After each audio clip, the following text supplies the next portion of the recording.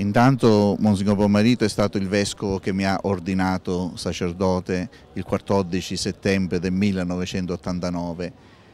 Sono stato anche ordinato diacono da lui il 30 novembre dell'88 e subito quando ci fu il cambio da Monsignor Pichinenna a, a lui, lui ancora prima di essere in diocesi il suo primo pensiero fu al seminario e ricordo con affetto che proprio a giugno dell'88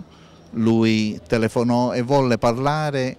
uno per uno con i seminaristi dicendo che era contento di essere stato trasferito a Catania, nominato arcivescovo della diocesi di Catania e teneva nel suo cuore il seminario perché diceva è il cuore della diocesi, se un vescovo non ama il seminario vuol dire che non ama la diocesi e lui lo sottolineava più volte l'amore al seminario, il lavorare per il seminario.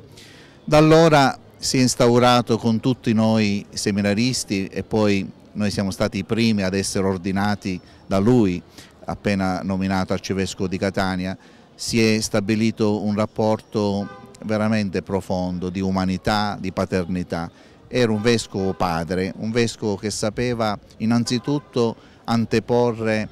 alla sua autorità l'aspetto umano, mm, si, mm, si, si, approcciava con ciascuno di noi nel rispetto dell'umanità, nel, nell'affetto di padre e chiedeva sempre, non c'era un compleanno, un onomastico, un evento che lui non ricordava, aveva subito pronta la telefonata o addirittura veniva all'improvviso facendoci una sorpresa. E questo eh, nei suoi modi eh, lo ricordiamo tutti, eh, unico nel gesti, nel, nella sua gestualità,